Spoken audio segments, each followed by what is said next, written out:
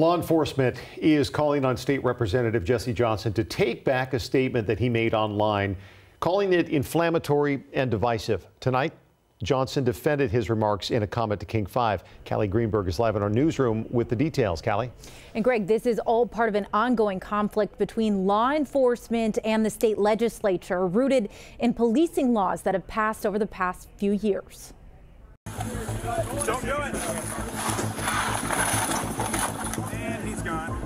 In response to this video put together by different sheriff's departments across Washington, State Representative Jesse Johnson entered a conversation on Twitter defending policing laws he sponsored, saying, quote, the legislature did what needed to be done and some police got angry because their culture must shift and they can't go around killing people. It was particularly surprising to have him put such words in writing. Teresa Taylor is the executive director of the Washington Council of Police and Sheriffs. It's one of several groups calling on Johnson to retract that statement. I would like to see him acknowledge that uh, his terminology was uh, not consistent with uh, a person who has a desire to see community and law enforcement come together. Law enforcement wants to see House Bill 1054 reformed. It restricts when police can pursue a suspect in a vehicle.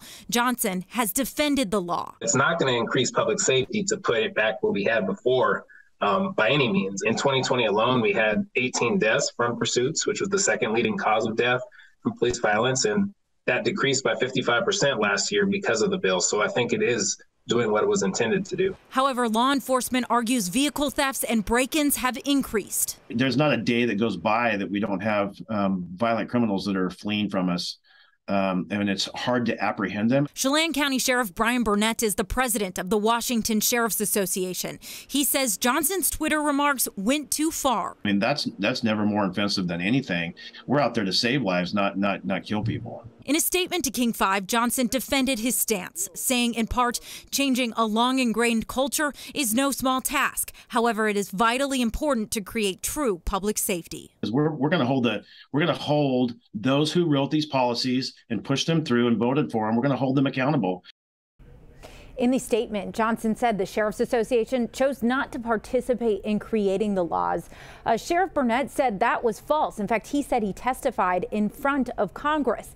Now, the two police groups I spoke with and Johnson, they all told me they're hoping to work together on future police reforms. Johnson has not publicly retracted his remark.